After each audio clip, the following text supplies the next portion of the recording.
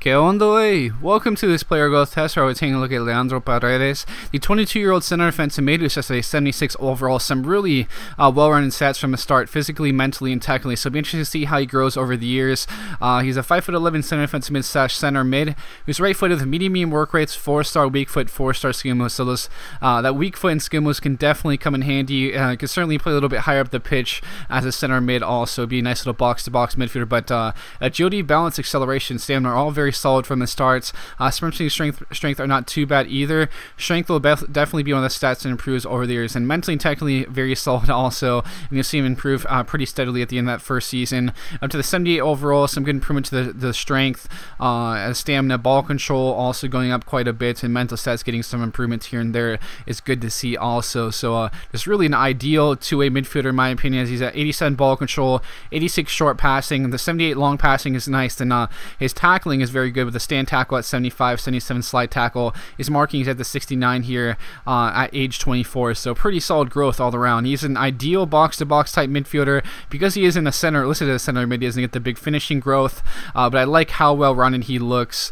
Uh, could definitely play in other spots other than chest A, you know, center defensive mid or center mid also, but uh, you can see that agility and dribbling coming into play, finding that space, uh, then playing a wonderful pass over the top, just stretching the defense, can get in those interceptions as you can see in that highlight also.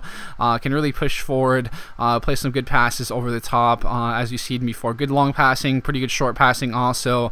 I didn't get to utilize the short passing as much um, because I never played him as a cam or anything, so uh, I actually think he could fit that role maybe even uh, with the weak foot and skill moves he has, uh, but I just never give it a try because I had other players who could you know fit in as a cam also that was testing at the same time. But you saw him win the ball back, push forward, use that ball control dribbling, setting up attacks, looking very good, um, and just very solid stats all around. As you can see now, this is a wonderful through ball, perfectly weighted through uh, to create a little bit of a half chance there. As you can see him again winning the ball, pushing forward again. That's just the kind of play he brings to you, um, whether he's playing as a center mid or a center defensive mid. But you could also uh, play a few other positions, which you'll see in his calculations. So 83 at age 26, reached 83 at age 25 also, but he got a couple improvements, uh, you know, slight improvements in some areas. So I decided to just show it now at age 26. But uh, take a look at the play information again for you guys, and we'll take a look at his specialties also. So he has a playmaker specialty because of the vision. So glad to actually see someone have that because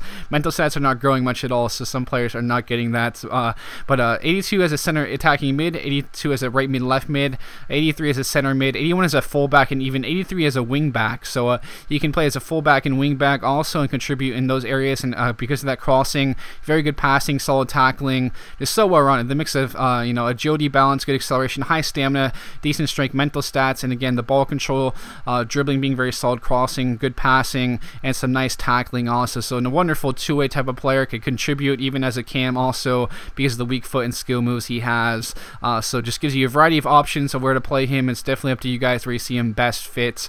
As you can play anywhere from fullback, center defense, mid, center mid, even out wide a little bit, uh, and as a cam. So a huge recommendation here, guys. I definitely would take a look at him. But with that, thanks for tuning in. I'll be signing out now, and I'll catch you guys later.